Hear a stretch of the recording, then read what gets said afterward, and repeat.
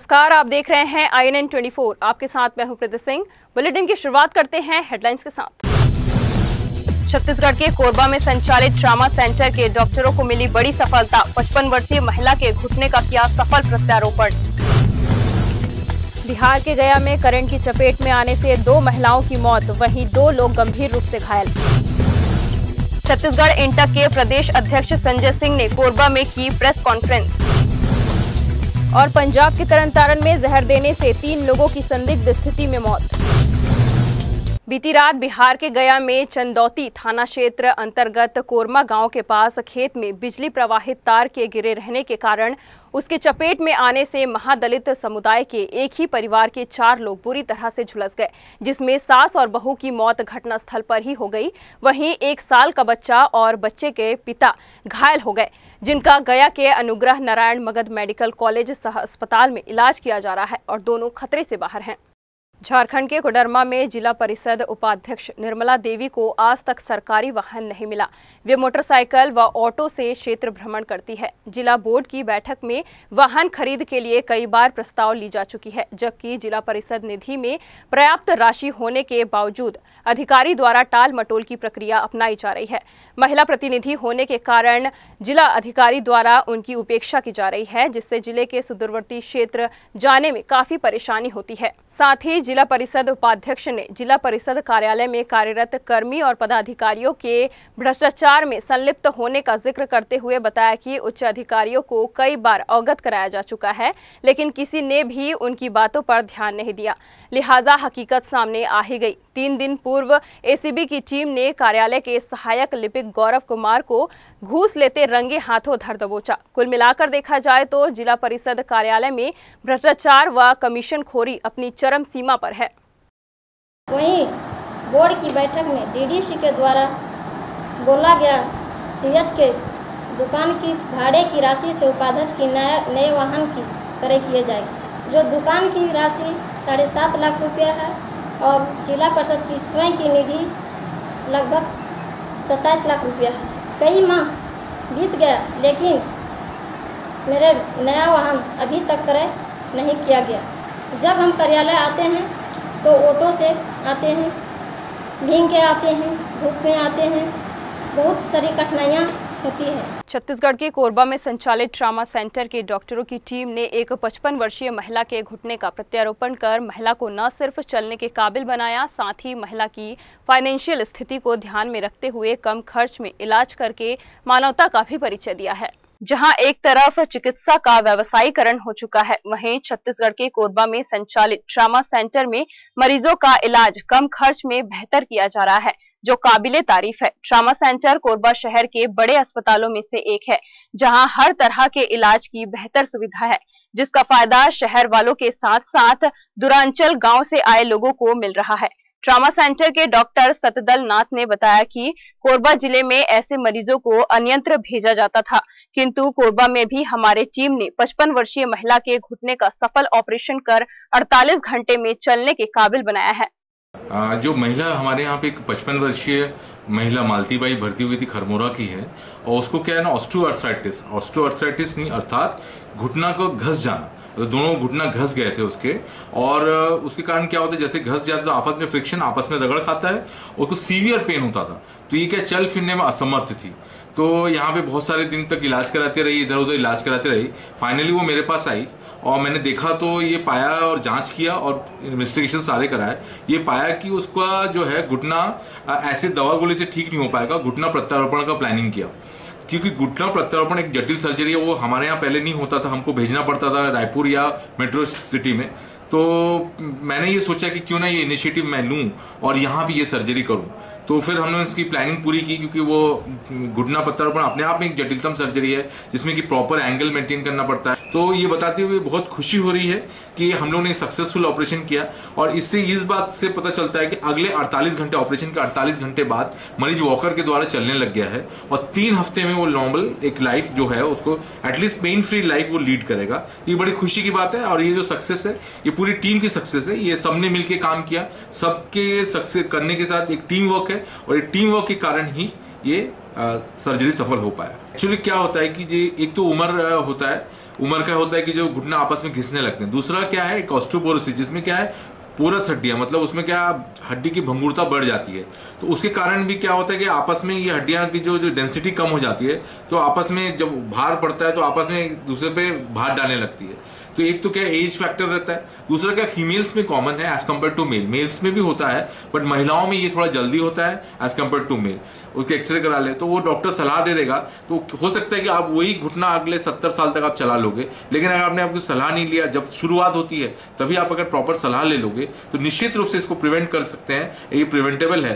But अभी कुछ कुछ चीज़ें ऐसी रहती है, वो हैवी वेट हो गया, वो प्रिवेंटेबल नहीं है. हैवी वेट हो गया, उसमें घुटने में ज़्यादा ज़ोर पड़ता है. तो उसमें फिर घुटना घिसता ही है तो वो सब चीज़ करना पड़ता है। बट अगर कोशिश की है, अपन शुरू से सावधानी बरते तो निश्चित रूप से मैं बता, दावे के साथ बोल सकता हूँ कि हम इसको प्रिवेंट कर सकते हैं। पंजाब के तरन तारण में गाँव कोट मोहम्मद खान में रहने वाली 26 वर्षीय नवजोत कौर और दो अन्य लोगों की संदिग्ध स्थिति में जहर के कारण मृत्यु हो गई। मृतक महिला के परिजनों ने आरोप लगाया कि नवजोत कौर के पति गुरसेवक सिंह ने अपने रिश्तेदारों के साथ मिलकर मृतिका को जहर दिया है। मृतिका का छह वर्ष का बेटा भी है। नवजोत कौर के परिजनों का यह भी कहना है कि उसके पति गुरसेवक सिंह को शक था कि नवजोत कौर पर भूत प्रेत का साया है। इस शक के चलते उसने अपने दो दोस्त अमृतपाल सिंह और सतनाम सिंह को घर पर रखना शुरू कर दिया, क्योंकि दोनों खुद को बाबा भी बताते थे। इस काम के लिए गुड़सेवक ने अमृतपाल सिंह और सतनाम सिंह को बीस हज़ार रुपए भी दिए। नवजोत के परिजनों के मुताबिक गुड़सेवक और उसके मामा ने मिलकर उनकी बेटी नवजोत को जहर दिया और अमृतपाल व सतनाम को भी जहर दिया गया और गुड़सेवक सिंह फरार है। पुलिस मामले की जाँच में जुट गई है। गुरसेवक ने ना दो बाबे जड़े घर लिया के रखे ਆਂਦਾ ਤੈਨੂੰ ਭੂਤ ਚੜੇਲਾ ਚੰਬੜੇ, ਤੈਨੂੰ ਪੇਕਿਆਂ ਦਾ ਹੈਗਾ ਆ ਚੀਜ਼ਾਂ ਤੇ ਪੇਕੇ ਨਹੀਂ ਜਾਣਾ। ਜਦੋਂ ਫੋਨ ਮੈਂ ਕਰਦੀ, ਕੱਟ ਦਿੰਦਾ ਜਦੋਂ ਮੈਂ ਫੋਨ ਕਰਦੀ, ਕੱਟ ਦਿੰਦਾ 6 ਮਹੀਨੇ ਚੱਲੇ ਨੇ ਕੁੜੀ ਨੂੰ ਨਹੀਂ ਜਾਣ ਦਿੱਤਾ। ਉਹ ਜਿਹੜੇ ਮੁੰਡੇ ਘਰ ਲਿਆ ਕੇ 24 ਘੰਟੇ ਰੱਖਦਾ 20000 ਰੁਪਇਆ ਦਿੱਤਾ ਉਹਨਾਂ ਨੂੰ। ਭੂਤ ਚੜੇਲਾ ਲਾਹਣ ਦਾ। ਕਦੀ ਉਹਨੂੰ ਉਹਨੂੰ ਬਾਬੇ ਨੂੰ ਸਿਖਾ ਲਿਆ ਸੀ ਵੀ ਤੂੰ ਆ ਤੇਰਾ ਮੁੰਡਾ ਇੰਨਿਆਂ ਦਿਨਾਂ ਨੂੰ ਮਰ ਜਾਊਗਾ, ਜਾਂ ਤੂੰ ਮਰ ਜਾਏਂਗੀ। ਆਂਦੀ, ਮੇਰੇ ਪ੍ਰੀਤ ਵੱਲੋਂ ਆਂਦੇ ਆ ਵੀ ਇੰਨਿਆਂ ਦਿਨਾਂ ਨੂੰ ਮਰ ਜਾਊਗਾ। ਇੱਕ ਨਵਦੀਪ ਕੌਰ ਨੇ, ਇੱਕ ਸਤਨਾਮ ਸਿੰਘ ਨੇ ਤੇ ਇੱਕ ਅਮਰਤਪਾਲ ਸਿੰਘ ਨੇ ਇਹ ਕੋਟ ਮੁਹੰਮਦ ਦੇ ਰਹਿਣ ਵਾਲੇ ਨੇ ਥਾਣਾ ਚੋਲਾ ਸਾਹਿਬ ਦੇ। ਇਹ ਗੋਇੰਦਵਾਲ ਸਾਹਿਬ ਕੋਲੇ ਫਾਟਕ ਦੇ ਉੱਪਰ ਇਹ ਮੋਟਰਸਾਈਕਲ ਤੇ ਸੀ ਤਿੰਨ ਉੱਤੇ ਇਹ ਡਿੱਗਣੇ ਪਾਏ ਗਏ ਨੇ ਜਿਹੜੀ ਹੁਣ ਤੱਕ ਦੀ ਇਨਵੈਸਟੀਗੇਸ਼ਨ ਹੈ। ਇਹਨਾਂ ਨੂੰ ਲੋਕ ਹਸਪੀਟਲ ਲੈ ਗਏ ਜਿੱਥੇ ਇਹਨਾਂ ਤਿੰਨਾਂ ਦੀ ਡੈਥ ਹੋ ਗਈ। ਤੇ ਇਹਦੇ ਚ ਸਰ ਅਹ, ਕੋਈ ਪੁਲਿਸ ਕਾਂਸਟੇਬਲ ਦਾ ਵੀ ਬੇਟਾ ਦੱਸਿਆ ਜਾਂਦਾ ਜੀ ਜਿਹੜਾ ਜਿਹੜਾ ਮਰੇ ਮਰਨ ਵਾਲਾ ਚ ਹਾਂ ਅਮਰਤਪਾਲ ਸਿੰਘ ਹੈ ਉਹ ਤੇ ਡੀਐਸਪੀ ਤੇ ਐਸਐਚਓ ਤਫਤੀਸ਼ ਕਰ ਰਹੇ ਨੇ ਜੋ ਵੀ ਹੋਊਗਾ ਲਾਂਗੇ। ਤੇ ਸਰ ਇਹਦੇ ਚ ਅਹ, ਘਰਦਿਆਂ ਦਾ ਐਲੀਗੇਸ਼ਨ ਹੈਗਾ ਕਿ ਅਹ, ਜਿਹੜਾ ਹਸਬੰਡ ਹੈ ਉਹਦੇ ਵੱਲੋਂ ਪੋਇਜ਼ਨ ਦਿੱਤਾ ਗਿਆ ਤੇ ਕੁਝ ਤਾਂਤਰਿਕ ਜਾਂ ਬਾਬਿਆਂ ਨੂੰ ਲੈ ਕੇ ਜਿਹੜਾ ਉਹ ਉਹਨਾਂ ਦੇ ਘਰ ਸਟੇ ਕਰਦੇ ਸੀ। ਜਿਹੜੇ ਜਿਹੜੇ ਮਰੇ ਨੇ ਦੋ ਬੰਦੇ। ਉਹਨਾਂ ਦਾ ਕੁਝ ਇਸ ਤਰ੍ਹਾਂ ਦਾ? ਹਜੇ ਤੱਕ ਇਹ ਕੋਈ ਗੱਲ ਸਾਹਮਣੇ ਨਹੀਂ ਆਈ। ਪਰ ਜੋ ਵੀ ਤਫਤੀਸ਼ ਹੋਊਗੀ ਜੋ ਸਚਾਈ ਹੈ ਫਰਦਰ ਅਸੀਂ ਇਨਵੈਸਟੀਗੇਸ਼ਨ ਕਰਕੇ ਸਾਹਮਣੇ ਲੈ ਦਾਂਗੇ ਪੋਇਜ਼ਨ ਜ਼ਰੂਰ ਹੈ ਲਿੱਤਾ ਜਾਂ ਦਿੱਤਾ ਹੈ ਇਹ ਅਸੀਂ ਬਾਅਦ ਦੇ ਵਿੱਚ इंटक रेड्डी गुट के छत्तीसगढ़ प्रदेश अध्यक्ष संजय सिंह ने कोरबा में पत्रकार वार्ता आयोजित कर रेड्डी गुट एवं महाबल गुट के बीच चल रही गुटबाजी का खुलासा करते हुए रेड्डी गुट को असली इंटक बताया। आयोजित पत्रकार वार्ता में जिला अध्यक्ष विकास सिंह, अजय जायसवाल के साथ इंटक के पदाधिकारी उपस्थित रहे। आज जिला इंटक जो कार्य समिति है कोरबा की, उसका गठन किया गया और उसकी घोषणा की बैठक में की गई है। और ये जो विगत दिनों कुछ भ्रांतियाँ फैलाई जा रही थी उसके संबंध में हमने आप, अपना स्पष्टीकरण दिया है।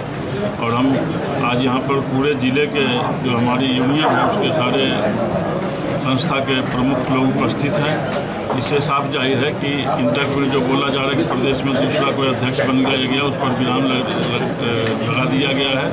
ज़िले कि उनके पास न तो इस ज़िले में कोई यूनियन है, ना कोई संगठन अगर ऐसा कोई आरोप लगाते हैं तो आपको मालूम होना चाहिए कि रेड्डी जी जब अध्यक्ष बने थे तो इंटक के पास कोई फंड नहीं आज रेड्डी जी के नेतृत्व में ही तेईस साल के अंदर आज छब्बीस करोड़ रुपया इंटक के रिज़र्व फंड में एफ़ के तौर पर पड़ा हुआ दिल्ली में अध्यक्ष या पदाधिकारी को रहने के लिए कोई जगह नहीं था, वहाँ उन्होंने दो करोड़ रुपए खर्च करके एक गेस्ट हाउस ग्रीन पार्क में खरीदा। इस तरीके के जो आरोप लगा रहे हैं वो आज बोलते हैं, अध्यक्ष, दिल्ली में कोई आदमी जाता तो आज कम से कम हमारा 10 करोड़ का इंटक का ऑफ़िस है 26 करोड़ का फंड है 22 स्टाफ इंटक ऑफ़िस में काम करता है।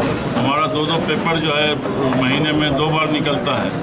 तो ये सब आरोप मनगढ़ंत है, उनकी छवि को धूमिल करने का है। संजीवा रेड्डी कोई देश के लीडर नहीं अंतर्राष्ट्रीय श्रमिक जगत के लीडर है। और हम सब लोग उनके ऊपर भी, उनके नेतृत्व में उनके में विश्वास करते हैं। उच्च न्यायालय का जो फैसला दिया है कि कार्यकाल 2017 में समाप्त हो चुका है, ग्यारह जून इसके लिए जो भी नई कमेटी बनी है, वो पंजीयक वेबसाइट से छत्तीसगढ़ शासन, उसका निर्णय फैसला और ई जो है, वहीं से पंजीयक वेबसाइट से इनके हम लिपिबद्ध होगी। उसके बाद जिसके नाम का लिपिबद्ध होगा, वो यूनियन कार्य करेगा झारखंड के कोडरमा ज़िले के थाना अंतर्गत काकरफुट ग्राम में बालिका आवासीय विद्यालय निर्माणाधीन भवन समीप तालाब के नज़दीक जेसीबी मशीन द्वारा मिट्टी काटकर भवन निर्माण में उपयोग किया गया, जिसके कारण उपचार स्थल पर गड्ढा हो गया, जहाँ पर रंजीत कुमार सिंह का पुत्र शिवम कुमार अपने कुछ साथियों के साथ खेल रहा था, जिसके कारण वह गड्ढे में जा गिरा, जिसके बाद उसके साथियों ने उसके परिजनों को आकर घटना की सूचना दी, जिसके बाद उसके परिजन और ग्रामीण बच्चे को निकालने के लिए पहुँचे। काफ़ी मशक्कत के बाद बच्चे को निकाला गया और उसे इलाज के लिए ज़िले के सदर अस्पताल में लाया गया, जहाँ उसे मृत घोषित कर दिया गया। छत्तीसगढ़ के कोरबा में ज्योति उच्चतर माध्यमिक विद्यालय में पौधारोपण एवं साइकिल वितरण का कार्यक्रम विधायक जयसिंह अग्रवाल एवं महापौर रेणु अग्रवाल के आतिथ्य में संपन्न हुआ। इस अवसर पर विधायक जयसिंह अग्रवाल ने कहा कि वृक्ष धरा के आभूषण है, इसको सहेज कर रखना हमारा कर्तव्य है। विधायक जयसिंह अग्रवाल ने कहा कि आज पर्यावरण की स्थिति अत्यंत नाजुक दौर से गुजर रही है। जगह जगह पेड़ काटे जा रहे हैं। ऐसी स्थिति में पौधा लगाना और उसको सहेज कर रखना मानव जाति का धर्म है। कार्यक्रम में महापौर रेणु अग्रवाल के हाथों साइकिल वितरण किया गया। इस अवसर पर शहर अध्यक्ष राजकिशोर प्रसाद, सेवा दल के मंडल अध्यक्ष कन्हैया सोनी फारूक मेमन, संतोष राठौर सहित काफ़ी संख्या में लोग उपस्थित थे। मध्य प्रदेश के Burhanpur textile and traders association द्वारा बुरहानपुर की सभी टेक्सटाइल से जुड़ी संस्थाओं के सहयोग से भारत सरकार द्वारा कपड़े पर लगाए गए जीएसटी कानून को हटाने के लिए एक ज्ञापन प्रधानमंत्री नरेंद्र मोदी एवं भारत सरकार के वित्त मंत्री अरुण जेटली के नाम एसडीएम को सौंपा गया। रैली विभिन्न मार्गों से होते हुए शांतिपूर्ण तरीके से एसडीएम कार्यालय पहुँची। छत्तीसगढ़ के जगदलपुर शहर में बढ़ते यातायात व्यवस्था को सुधारने ट्रैफ़िक पुलिस ने जागरूकता अभियान चलाया है। इस अभियान के तहत पुलिस शहर के स्कूलों में जाकर छात्रों को पावर पॉइंट प्रेजेंटेशन और लघु फ़िल्म के माध्यम से यातायात संबंधी जानकारी दे रही है। साथ ही सुप्रीम कोर्ट के निर्देशों के पालन हेतु यातायात संकेतों का पालन करने, स्कार्फ पहनकर वाहन नहीं चलाने, तीन सवारी नहीं चलने, वाहन चलाने के दौरान मोबाइल फ़ोन का उपयोग नहीं करने समेत हेलमेट के फ़ायदे बता रही है।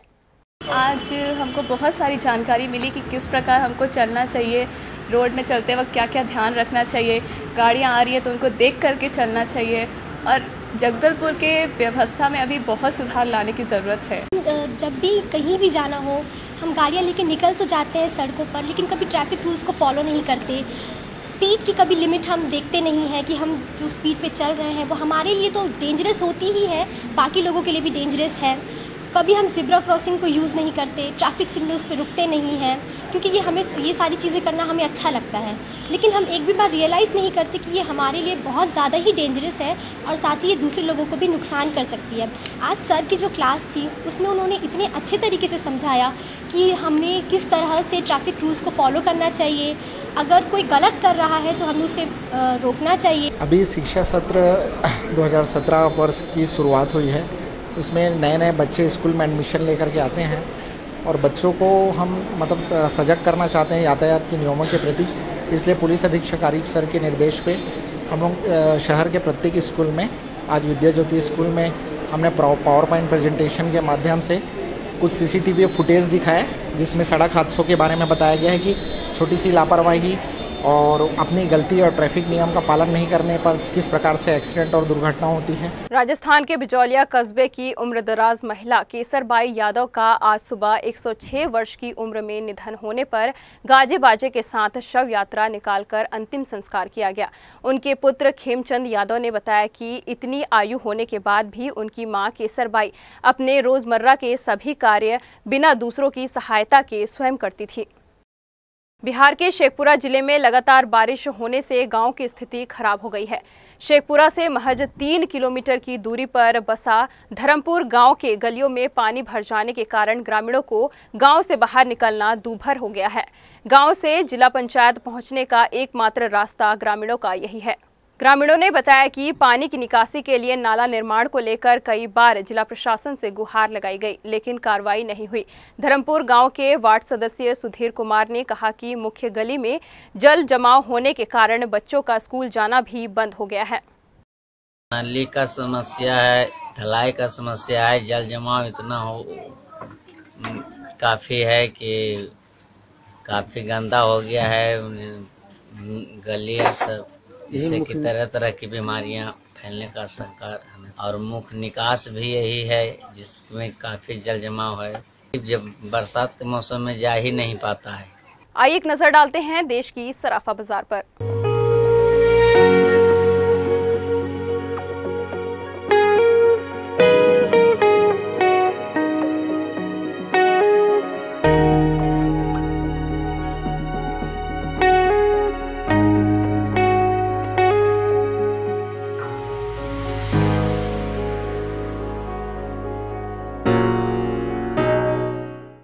आइए देखते हैं देश के चुनिंदा शहरों के मौसम के मिजाज।